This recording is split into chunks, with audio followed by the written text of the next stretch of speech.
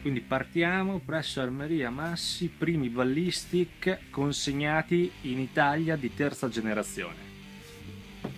Gabriele Massi, titolare, il prima confezione.